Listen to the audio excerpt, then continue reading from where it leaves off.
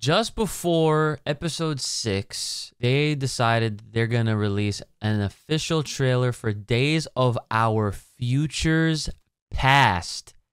Is that what this next arc is about to be called? I can't even believe I'm calling it an arc because it's literally just the second half of this first season. I gotta tell you, everybody over working on X Men '97, OD, y'all going crazy on all fronts, and and I and I'm gonna keep saying this until the rest of the world in entertainment follows suit. Everybody needs to see how to make a successful and entertaining and impactful series by checking out X-Men 97. So without further ado, let's check out this 23 second trailer and see what the hell we can pick out of this before the new episode, episode 6, which by the way, I hope everyone is doing well, comes out tomorrow at the time of this recording. So let's get right.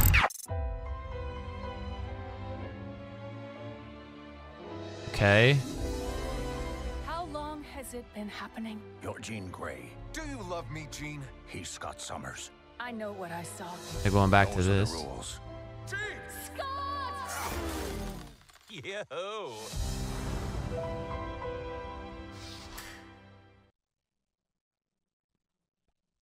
I don't know. so not for anything. I mean, the trailer itself is like very straightforward. There's there's there there's really not much to talk about here.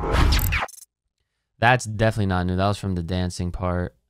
That was from the scene where they was making breakfast. This is also a repeated scene. That's definitely a repeated scene. This is definitely a repeated scene. See, when I saw that, I at first from the thumbnail, I thought that this was like Cable about to look at this picture, but eh, not so much. So this is interesting. Th- this trailer focuses on this whole love triangle quad.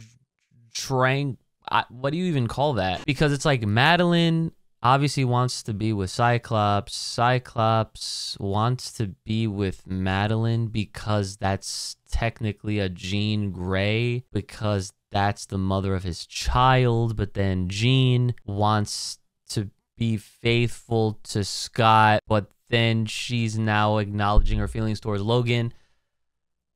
I'm going to stop this video.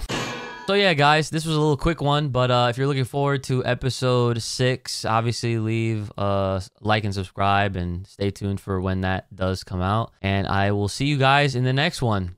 Take it easy.